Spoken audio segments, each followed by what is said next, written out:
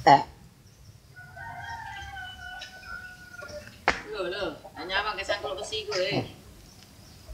kan?